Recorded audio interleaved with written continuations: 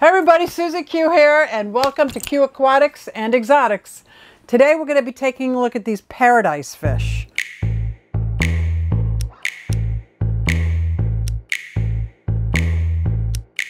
I wanted to talk a little bit about the paradise fish, Macropodus opercularis, and I'm sure I butchered that, but we've been calling this in the hobby the paradise fish, or the paradise gourami. It's also referred to as, you know, one of the founding fish of our hobby. Beautiful. Still is beautiful. Um, a French soldier, Giraud, brought into the hobby 1869. They're omnivores and they'll get about two to two and a half inches big. Uh, and they like slow moving water. They really don't need a heater as long as they could stay between 72. So normally with this, if these were in my fish room, I would not need a heater at all because that fish room's right about 70, 75 degrees.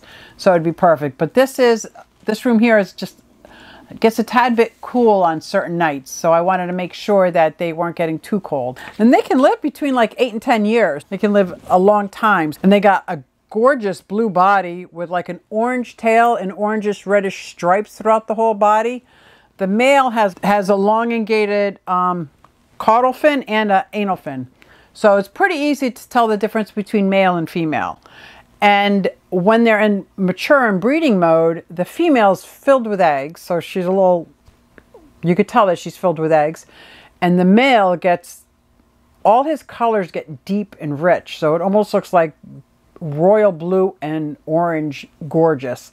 And the female gets a little more pale. She gets almost white while they're breeding. They're kind of aggressive fish, especially during breeding mode and if there's a bubble nest being made the male is very protective of his bubble nest, even against the female. And the bubble nest is really saliva covered bubbles. They're topwater swimmers. So they would do really well with like a larger peaceful fish. That's a bottom dweller. That would work out very well in these tanks. They like to be the most dominating fish in the tank. There's another fish in here that's more dominant. They might seem to be off to themselves, but they're really very stressed. And when they're spawning, they'll actually embrace each other and they do their little dance. And as the eggs and sperm both drop, so the eggs are lighter than the water and they, and they float up towards the nest. And then the male will put each one in the bubble.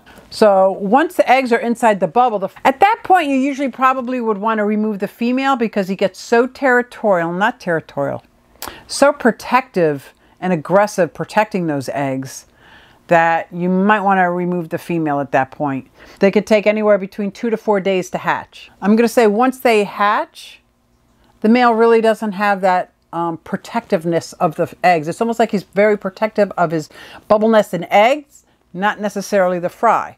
But he didn't hurt the fry. He doesn't bother with the fry. He was a little pissed off with the female. He was very aggressive towards the female. So we were setting up another tank so that we could remove the female and then they started acting fine again. So we left them be. We actually, when I first gave her these, there was two males and a female and we didn't realize there was they were breeding and I had to remove the male because it, he was going to, even the female was aggressive towards that male. So it's not necessarily just the male that gets aggressive. They get very aggressive. But we're setting up a tank and getting it ready for all these babies to move out because I, I could tell that they want to spawn. She's starting to look like she's holding eggs. So I just think we have to remove all the babies. And then from the juvenile tank, we'll see if any of them are aggressive. Do we need to get their own tank? So that is my update on Katie's paradise fish and a little bit more information on what the paradise fish are. Thanks for watching, and I'll see you next time.